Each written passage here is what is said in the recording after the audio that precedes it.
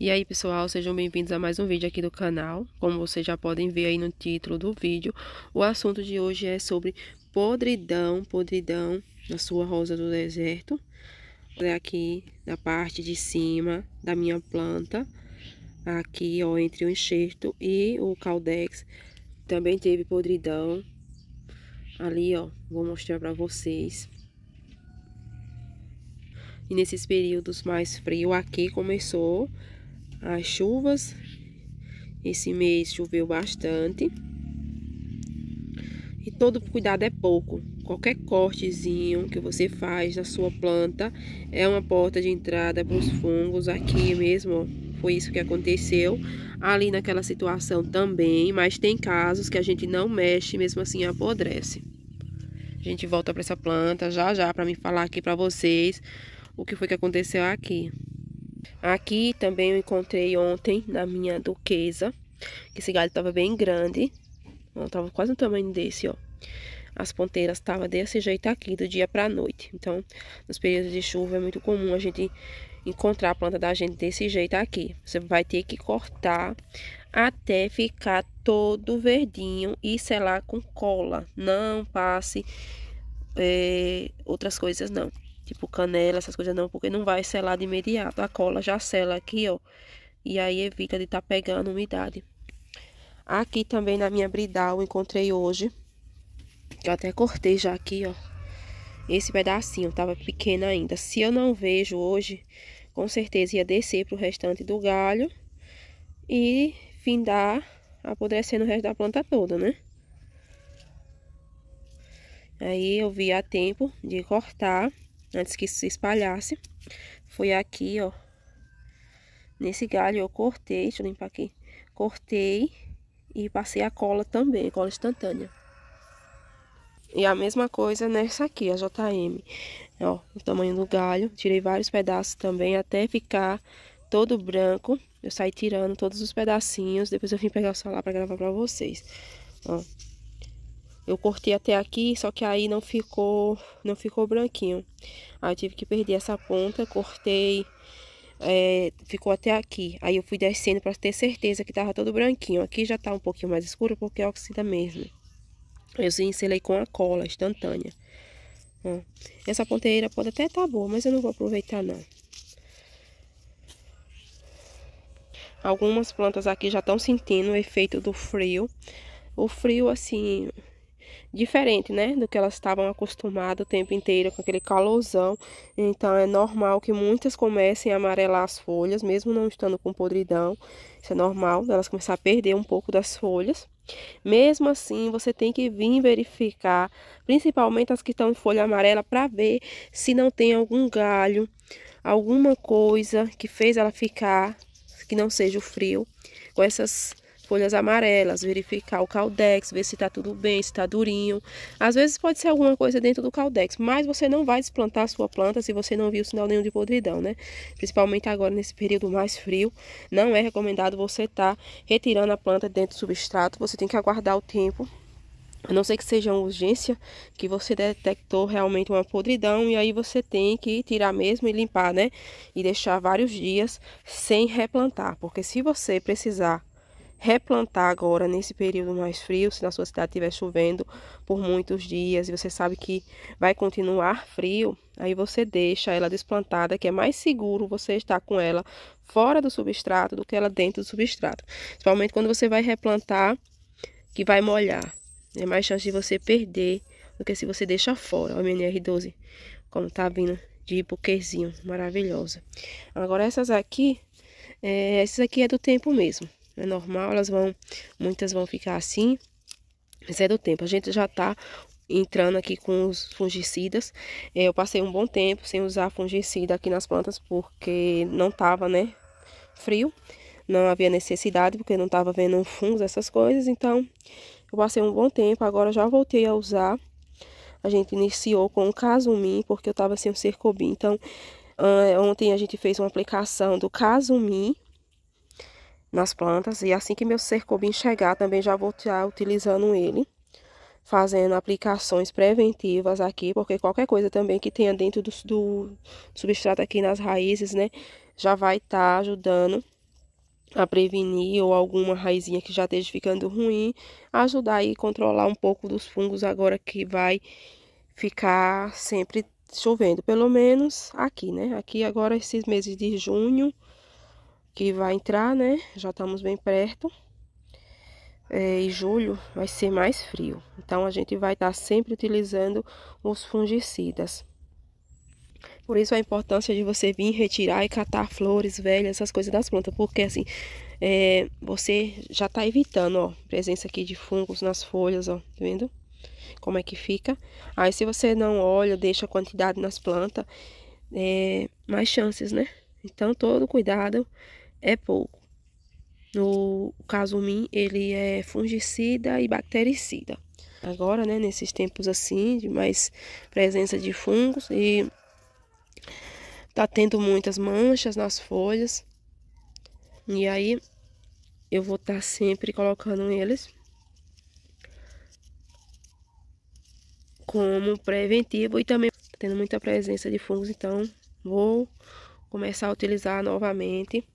Aí, além de você estar tá fazendo inspeções diárias nas plantas de vocês, se possível, andar por ela todos os dias, observando muito bem qualquer galho caído, é um sinal né? Que pode ter alguma podridão ali. Viu que o galho tá caído, já vai olhar para ver, viu a planta amarelar, procure algum sinal de podridão. Se não viu nada, deixe ela lá quietinha, não sai arrancando não. E o outro passo é usar algum fungicida, se você tem fungicidas é, aí na sua casa. Receitas caseiras eu não indico porque eu não uso, então não vou indicar uma coisa que eu não, não utilizo, né? Muitos de vocês já devem ter visto, né, ó, no tempo frio como é que fica. Aí, se eu, se eu deixo aqui, não é legal, né? Não é legal. Aí ver que essa planta apresenta aqui algum corte, alguma coisa, ó, como é que fica. Vendo a situação? Ó. Pouco tempo já fica assim, ó, presença das manchas. E também, pessoal, aquela planta do vaso que eu perdi, ela tava aqui é a segunda que eu perco aqui dessa bancada. É, observei que elas estão com colchonilha, que havia tempos que eu não via a presença de colchonilha aqui na minha casa.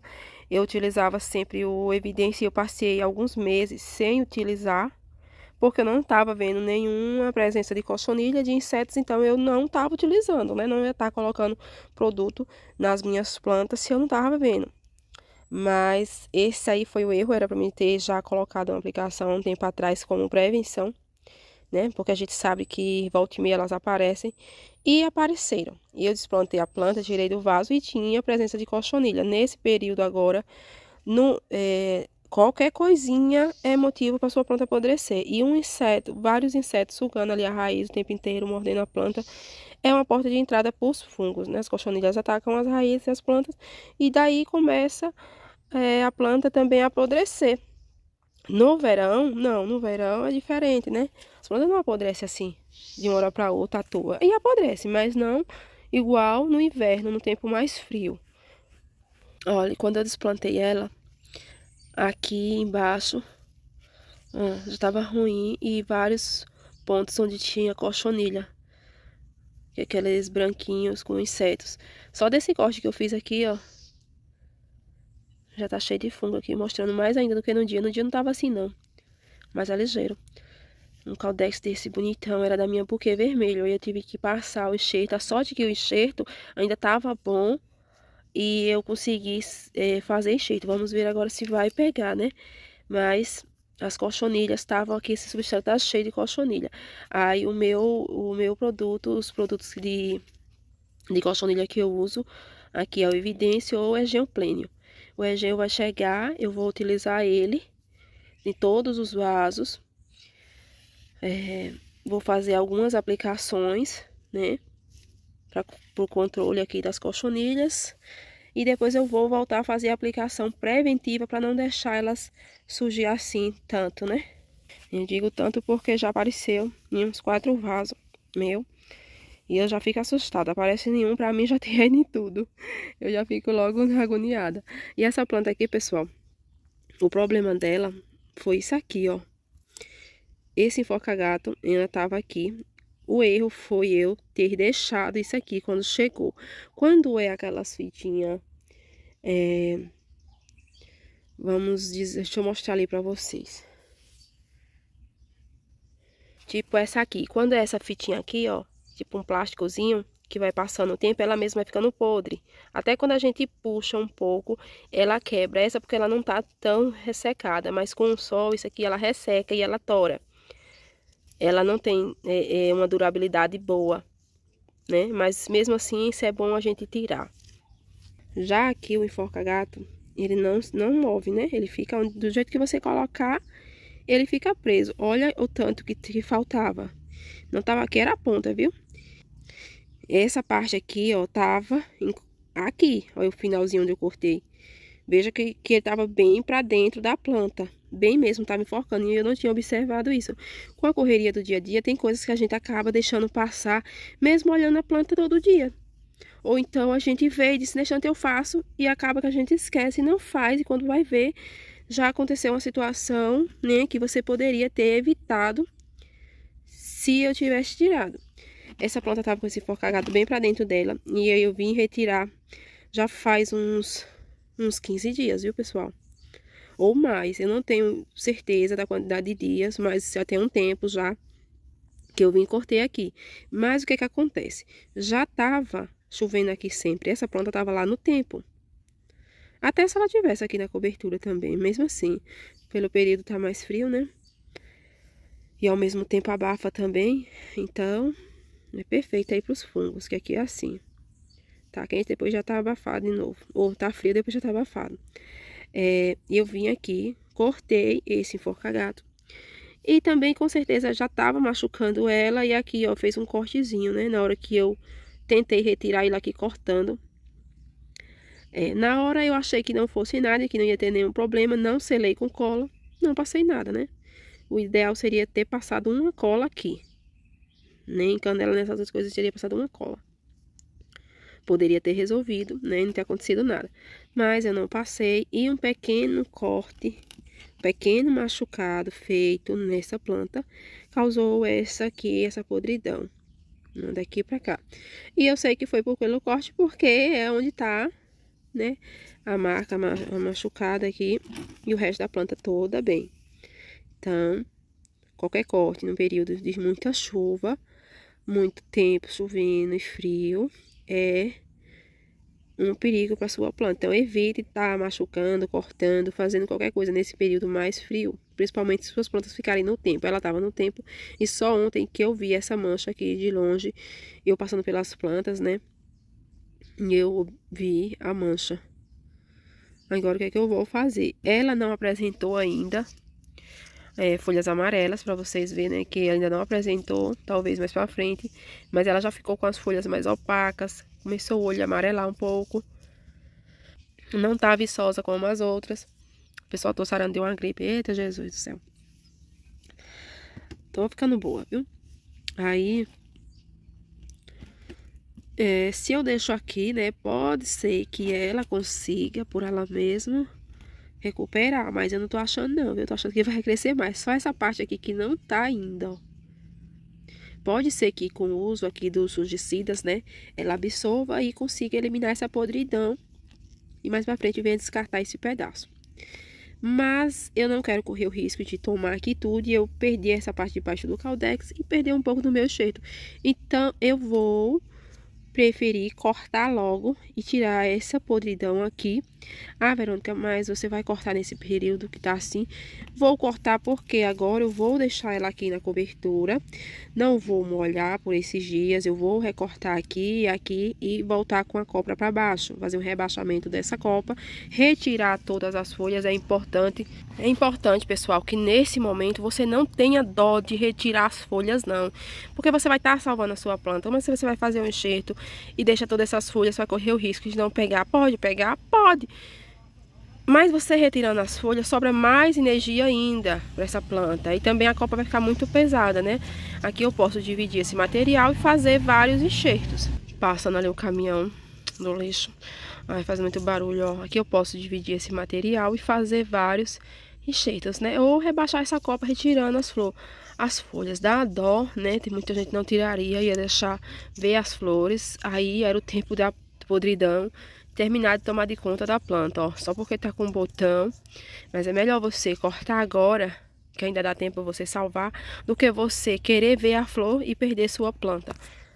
Então, vou cortar aqui com vocês. Eu vou ver aqui como que tá essa... Olhe, para vocês verem como é que tá. Metade, quase a metade já contaminada, né? Se fosse para limpar aqui, ó, poderia vir aqui, tirar aqui, ó. Mas essa parte aqui, tá vendo que essa parte aqui já tá mais pra cá, mais da metade? Ó, então não daria pra mim tirar, é, limpar, né, e deixar a copa. Ela não ia aguentar o peso. Talvez até a planta, a própria planta fosse eliminar ela, porque aqui, ó, dá pra ver que ela, é porque desfocou, mas aqui dá pra ver que ela tava, tipo, sabe quando a planta tá soltando, ó, eu acho que ela ia eliminar,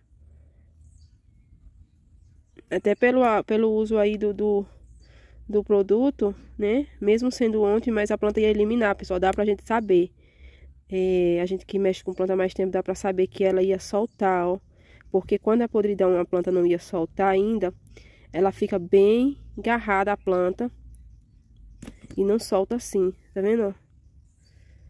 Só que se ela fica lá no tempo com esse tanto de podridão aí, voltaria a apodrecer tudo de novo, né?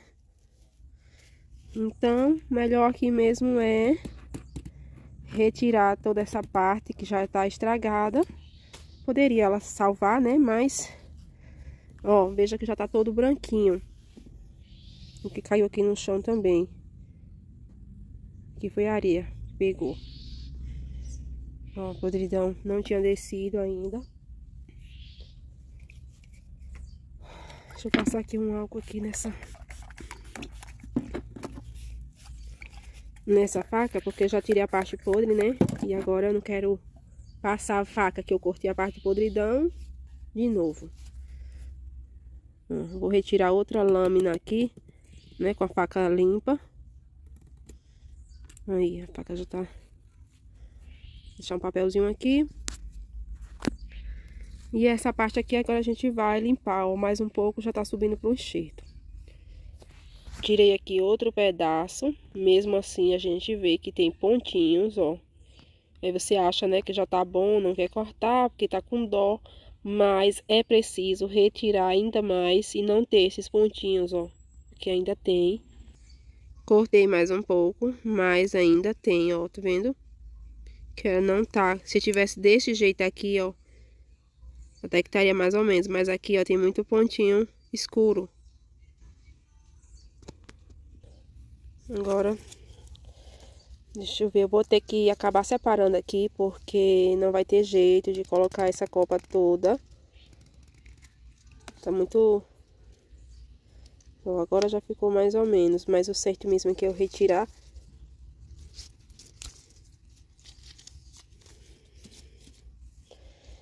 Vou tirar aqui todas as folhas.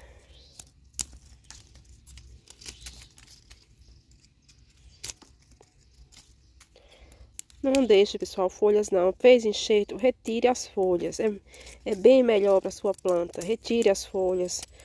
Porque eu vejo muita gente ainda fazendo enxerto, deixando lá a planta cheiona de folhas, com botão. Ah, mas eu faço e pega. É. Mas às vezes também não pega, né? E o desenvolvimento do enxerto pode não ser a mesma coisa. Só digo a vocês que retire. Melhor retirar. Depois você vê as folhas e os, e os botões. Acabei me cortando aqui, ó.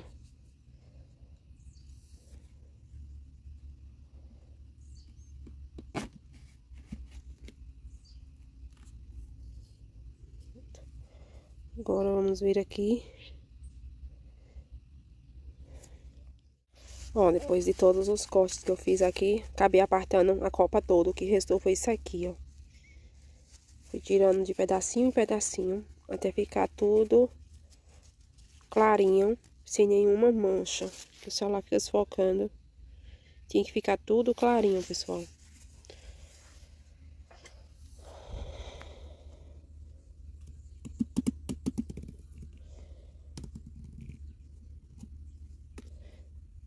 E o que me resta aqui é fazer o enxerto, né? Com esses três, esses três pedaços aqui que sobrou. Colocar aqui, né? Nesse caldex. Aí aqui, o que me resta é fazer os enxertos aqui, os três juntos, né?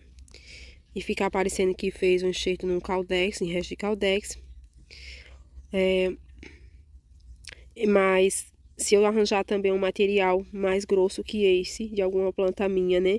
Que dê para tomar um pouco mais de conta aqui desse espaço com o tempo, não vai ficar parecendo que foi um resto caldex. E também aqui ainda tem brotação, gemas de brotação. Vocês viram que eu tirei um aqui e aqui tem outras ainda que pode brotar, né? Esse caldex ele ainda brota. Ó, pessoal, saí pra procurar, tirei mais outro corte, né? Porque ele vai ficando escuro quando a gente passa um tempo. Procurei um galho em comparação a esses, ó, é muita diferença de grossura, né? Esses aqui demorar muito tempo pra ficar é, arrumado. É mais uma questão de estética. Se você não tem cavalo, você vai usar esse material aqui no mesmo que era dela, né? Eu vou colocar esse aqui, ó, porque eu acho que na, na estética não vai ficar tão feio se fosse o fino. E esse aqui já tem essa, essa copinha aqui. Eu tirei ele de uma planta que não ia fazer falta. E aqui eu vou fazer uma borda também, tirar essa borda. Porque é melhor, pelo menos eu acho, né? Pra não ficar juntando água, fazer a borda assim, ó. Que gravar e fazer não é, não é tão legal, né? Com a mão só.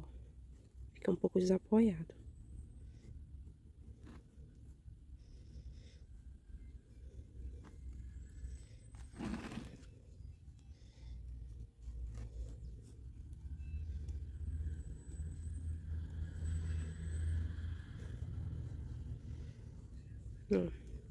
Já vai ficar mais descidinha. Com o tempo que cicatrizar, né? Já fica com a largura próxima do, do galho que eu vou colocar aqui.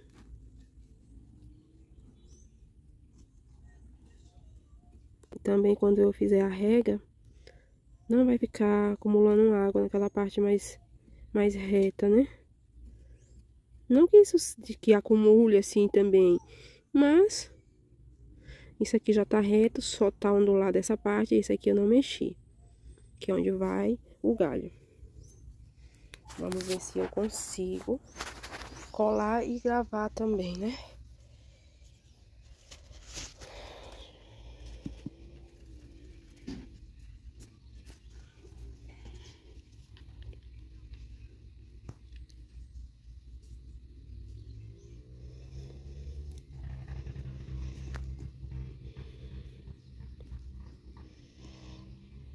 Deixa eu ver se tá bem apoiadinho.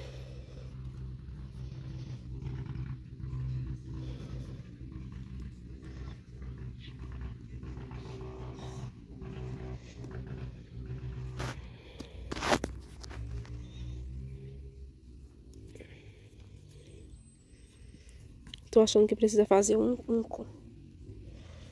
um corte. Não tô achando apoiado. Você sente quando não tá apoiado. Tirando só uma laminazinha aqui, pessoal. Agora casou. Tirei uma lâmina desse também. Vou colocar aqui, você sente que ele não tá indo pra canto nenhum. Aí, a hora que você vem, já centralizou aqui direitinho, pressionou bastante e passa a sua cola.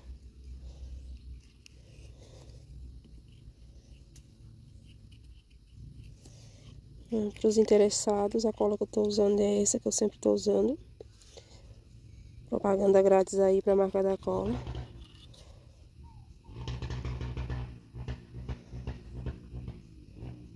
Quiserem me patrocinar, tô aceitando, tô usando muito essa cola. E todo o restante você vai passar cola também. Continua pressionando até você ver que tá realmente colado. Como é um galho grosso, grande aqui, você vai ter que ficar segurando por mais tempo do que de costume. É, o bom é que é bem reto, né?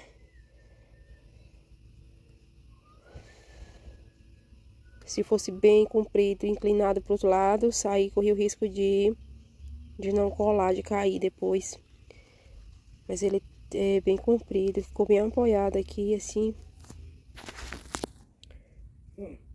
Não é um galinho mole, né? Eu acredito que assim o enxerto é, ficará melhor do que eu ter colocado aqueles três. Com o tempo que isso aqui descascar e começar a ficar esverdeado, não vai ficar tão feio, não vai ficar parecendo tanto que era um aproveitamento de caldex, né? Você também pode deixar as brotações que saem aqui crescer para cobrir um pouco, né, dessa parte aqui, porque vai sair brotação. Ela ainda tem gemas aqui de brotação. Ela já colou. Depois eu vou refazer, vou passar cola de novo. Vou colocar o saquinho, vou colocar, deixar aqui sem molhar esses dias. Não tem necessidade de fazer a rega nesse substrato. Vou deixar aí uns, uns três dias, eu acho, sem fazer a rega. E vai ficar com o saquinho até começar a brotar folhinhas, pessoal. Até brotar folhinhas. É o momento que você retira o saquinho, ó. Começou a brotar. Nesse ponto aqui, ó. Já tá no momento de retirar. Ó, como essas aqui que eu fiz.